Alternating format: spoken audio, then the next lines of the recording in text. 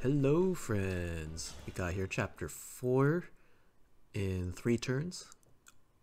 And this is the first time we get to play around with the Sigurd ring and the Celica ring, both of which are very powerful in LTC, as you can imagine. And this route that I've devised um, is actually impressively reliable, uh, at, especially at this point Whatever in the game. And the so the main objective here is going to be killing the boss, and that involves I need to move Celine her max distance every turn here, and I also need to bait out the boss because you actually the the map designers were you know fairly clever. Where Celine starts, um, she is like just one tile out of range of being able to warp to the boss naturally. Um, so the way it works is we're going to actually have to bait out the boss I'm happy to help. so that he, you know, contributes to some of that distance. So I'm going to move pretty much all of my forces towards the north. Um, I don't need everyone, but just enough to clear out the enemies that will be in the way, and then um, What a lovely Boucheron and Clanne can kind of stick at the bottom, collect that village with the javelin. Okay, so uh, Vander gets Whatever you say. Sigurd, and he waits there, kind of so uh, the enemies that will attack him will be in a For the divine Um, like good position to pick them off. I'll explain on the next turn. Okay, so yeah, Alfred is positioned exactly there so that that cav always attacks from there. Um, and I want that Pegasus Knight to be over there, and then the Armor Knight um, doesn't really matter too much, but him being there is fine. And uh, Boucheron survives this with exactly 1 HP, which is quite nice when I discovered that. Okay, so this Pegasus Knight that Chloe attacks on her turn, or on the end phase, enemy phase rather, um, it needs to specifically attack her from above. So that's like the main, pretty much the only RNG in this, in this route. If Chloe, uh, if the Pegasus Knight attacks from the right side of Chloe, it blocks the way, and you'll see why that matters. But yeah, so that's pretty much the only RNG. It's 50, it should be 50-50, uh, so it's not unreasonable or anything. But Sorry. wanted to call that out. So yeah, so far just cleaning up those enemies down there. So Alear will finish off this Axe Cav, no problem with the rapier. And so by being able to attack the Axe Cav from here, now Alear's personal will be affecting the fort, and this allows me, allows Etie to exactly one-shot that Pegasus Knight. Um, it doesn't matter even which direction the Pegasus Knight attacks from.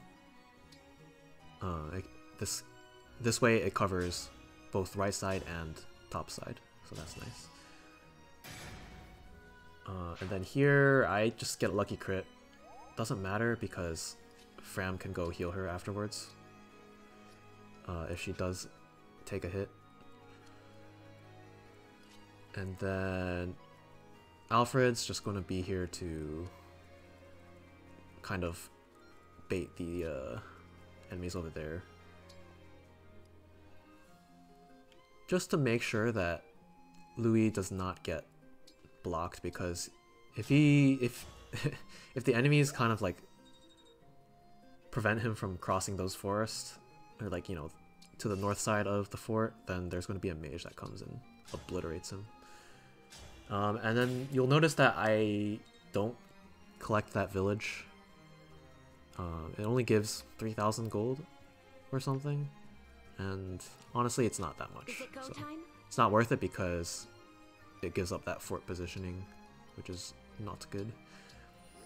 Okay, so yeah, Chloe waits over there I can still um, so that she can bait one of those mages that's near the boss. So you see here, Alfred kind of lures these enemies away. And then the boss attacks Vander first here because he does one more damage than the mage. So he does eight, 9 damage and the mage does 8 damage, so which is actually which is like very integral to the fact that this all works, that the boss like attacks first there. Um, yeah, so then Chloe baits the other mage away, that's also fairly important. And it's excellent that the the brigand just wants to raid the village anyways and ignores Vander because uh, it would actually be a huge problem if he was his AI prioritize attacking more.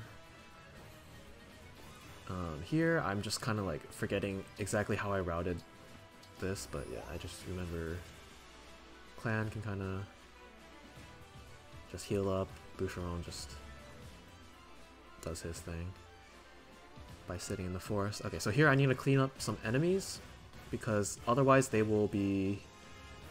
Actually, no, th this specific configuration of them doesn't matter too much, but still rather clean them up right now for EXP. Um, sometimes the enemies can align in such a way that uh, that they like block Celica's, not Celica, Celine's movement. Did any of y'all do that too? Just like accidentally just call characters by their em equipped emblem? Because, uh, yeah, like 70% of the time Celine is just Celica. anyway. Yeah, I'm just kind of uh, sweeping them for some EXP. Showing off there with Lodestar Rush.